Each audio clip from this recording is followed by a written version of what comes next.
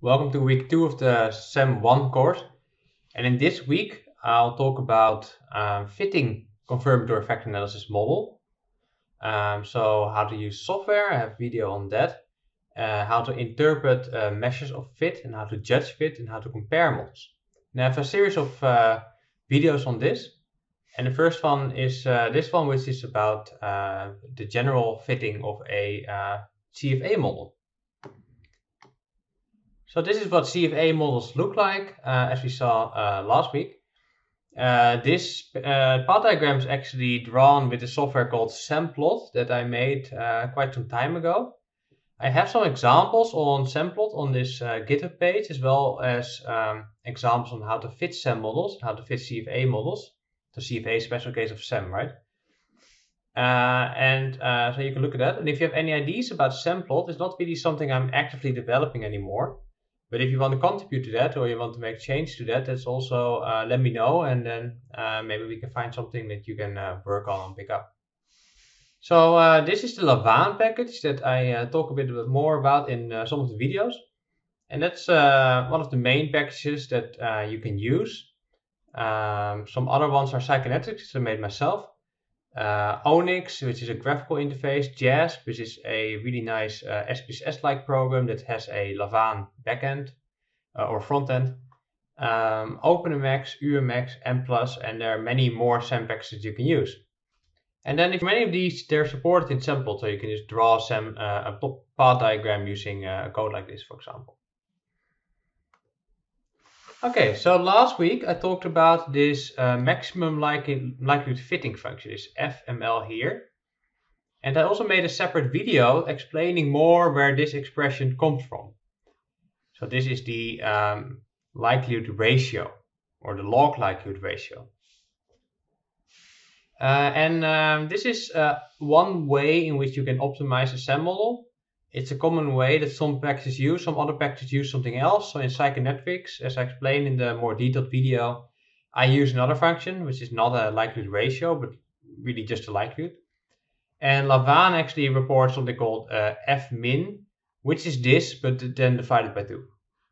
And you'll see all kinds of variants on that. So it's good to know if you really want to delve to software what they actually do. But in the end, they all uh, uh, basically boil down to this expression here, and especially to this expression here. Is t equals n times fml. Right? Or in the case of fm, uh, fmin, you have to uh, um, multiply by 2 still. So this t is always reported. And this is uh, probably the most important statistic that we uh, find in uh, structural equation modeling, that you always see reported in papers as well, and it's the first thing that the software will report when you ask for it to uh, print some uh, information. So what is this t? Uh, this t is a summary statistic and uh, it's a summary statistic of the fit.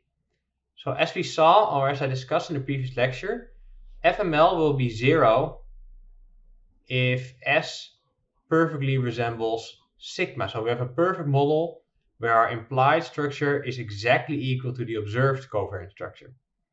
That will be an ideal world. But um, your data comes from a sample, so you're not in an ideal world. And by definition, this will not be true, and this will not be true, except when the degrees of freedom equals zero, because then we can perfectly reproduce S. Otherwise, it will be uh, somewhere close to S if you have good fit, and not close to S if you have bad fit.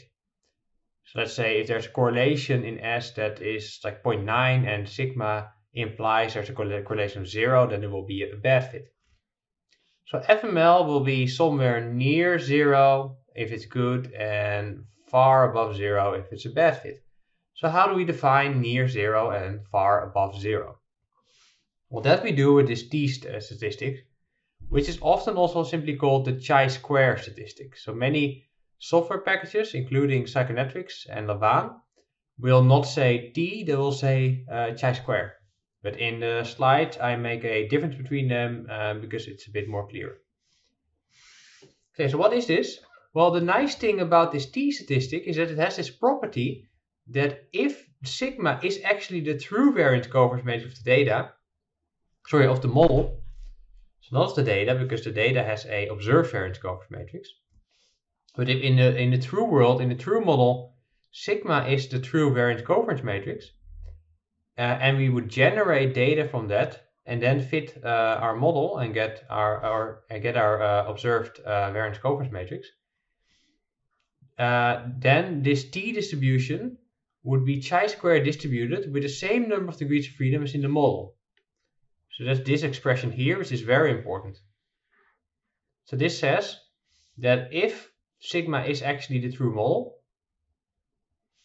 then this test statistics will have a chi-square distribution, which means it will not exactly be zero, but the chi-square distribution actually looks a bit like this. So this is a zero point and it will have a bit of a shape like this.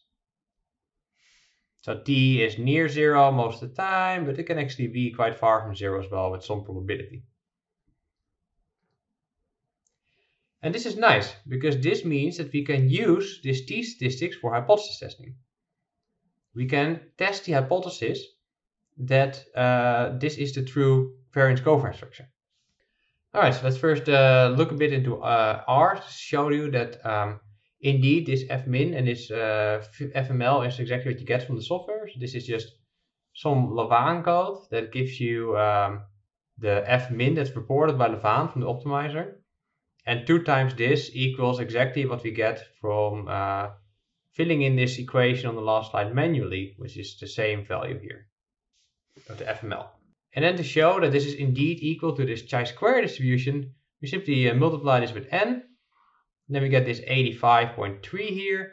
And then if we look in Lavaan and we ask for the chi-square test, it's the exact same value. So this is where it comes from. It's not uh, magic. It's uh, You can actually just obtain this yourself as well if you want. Okay, so with this test this, uh, statistic, we can test the hypothesis that um, the variance of y equals sigma. In fact, we can try to reject this hypothesis. So it's a bit of an inverse way of thinking than you normally do with uh, significance testing. Here, our H0 is that the variance of y equals sigma. And we can try to reject that and, uh, with the alternative hypothesis that the variance of y is not equal to sigma. Okay, so uh, what do we want to do here? Well, actually, we don't want to reject our hypothesis. So it's a bit of an inverse way of thinking than you normally do with a t-test, for example, where your hypothesis is the null test, where an effect is zero. Now we're not testing if the effect is zero, we're actually testing if the effect is what we found. So it's a, different way of, of thinking. And this is in line actually with, uh, so I had some discussion about this yesterday as well in the practical. This is in line with the way that you think about falsifying uh, models, right? So falsification. So what we do is we have a theory, have a, an idea that uh, sigma is a true model, and then we try to falsify this. Right, so that's uh, perfectly in line with the Popperian uh, uh, thinking. And then if we cannot falsify it, that's good because we could have falsified our hypothesis and we tried to falsify it, but we couldn't. That does not mean that we actually have evidence that this is true. Because that's of course the thing that you always have in frequentist uh, statistics. We cannot uh, actually gain evidence for this hypothesis. We can merely say we tried to falsify it, it and we couldn't. So uh, of course, if I have only two uh, observations, we're probably not going to get a significant p-value here. Um, but um, if you have a million observations or a thousand, then uh, if you don't get a significant p-value, that's actually quite a substantial thing to say because we really tried falsified it with a lot of power and we couldn't. Um, but we shouldn't immediately translate it to evidence for the null. So that's an important uh, distinction that you need to um, make. But ideally, then it means that we want to have our p-value above alpha. And usually we set that to uh, 0.05. And then in this case, that would be a good thing. Now, as I'll discuss later, this uh, chi-square test uh, is actually, the danger is usually not in that it's underpowered, uh, except if you have really few cases. The danger is more that it's overpowered and it will eject uh, very fast. So you usually get a significant p-value. And that's why I'll talk about fit indices later. Okay, so this is the chi-square distribution. This is zero, it would indicate perfect fit. And actually the, uh, the amount of mass as zero is, uh, is actually zero because you cannot get perfect fit if you have uh, a real number of values. You cannot always get zero. It would be like 0 0.00001 or something like that. So we have this shape here. Uh, the center point of the shape is the degrees of freedom. So that means that if you see chi square is lower than degrees of freedom, you already know that your p-value is not significant. So you don't need to do any testing because then you're somewhere in this range here, which is uh, a good thing for you.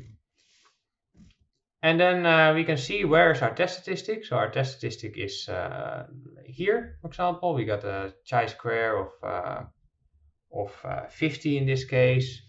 Right, so this is an hypothetical example, it's not the example shown before. Then we can look at the area uh, that's more extreme than the test value.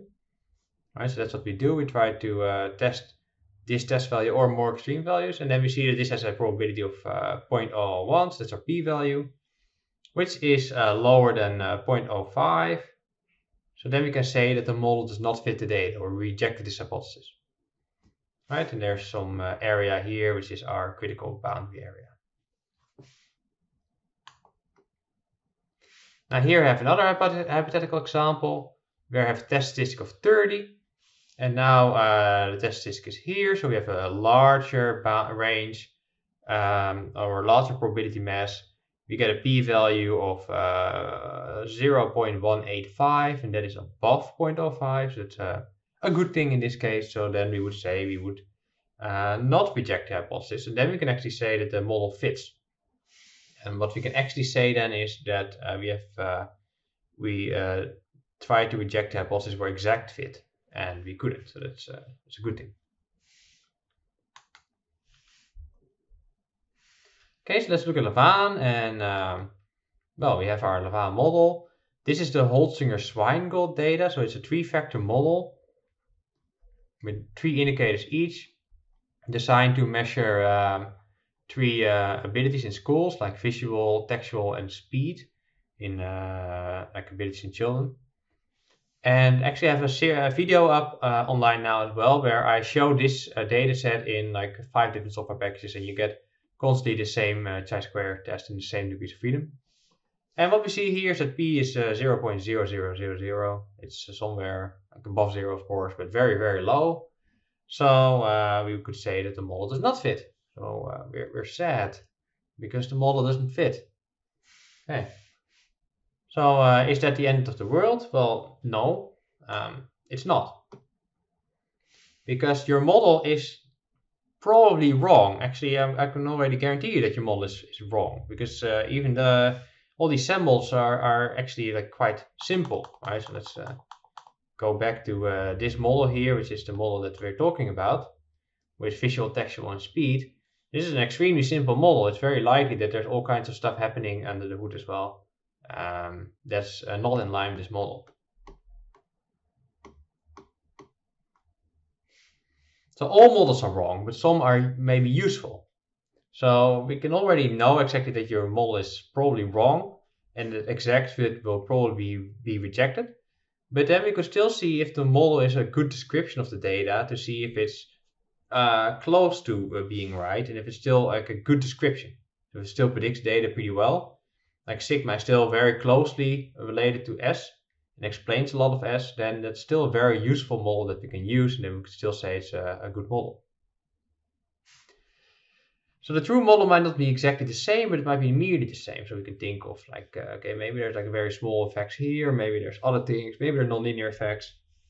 Uh, the reality is probably much, much more complicated than this uh, very simple model where we have three factor loadings and one normally distributed latent variable per uh, item.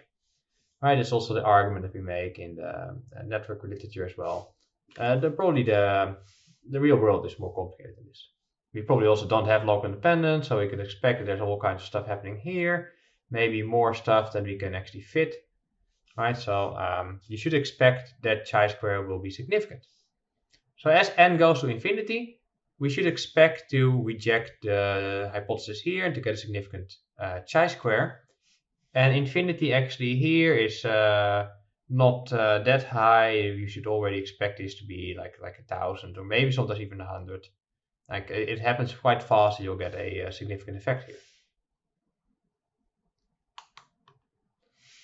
Okay, so that's uh, the test of exact fit. Now in the next uh, video lecture, I'll talk about uh, fit measures, where we can get indices to show if our model is still good. So if it's still a good model, it might not be exactly right, but if it's still close. So then we're going to test for close fit.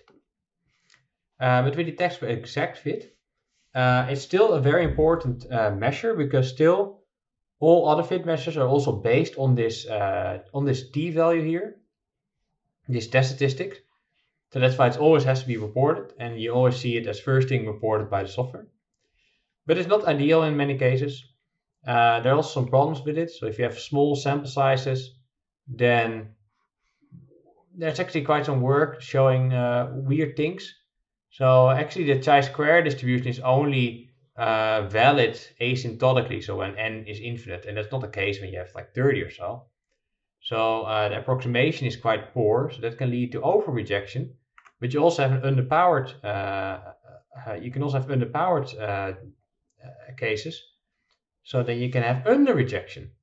So that is a is a weird thing. So in, in general, basically, it, with small sample size, the chi-square test is not that great. And with large chi-square ends, large sample sizes, we can actually expect to be rejecting the hypothesis a lot because the test then has a lot of power and it's probably just not uh, true the exact fit. So in general, uh, even though we have to report it all the time, uh, usually we just expect to get a significant test here, effect here, and uh, that we won't really uh, get much uh, meaningful inference out of it. And that's why we also look at measures for close fit. Okay, so that's it for this video on exact fit. And the next video I'll talk about measures for close fit.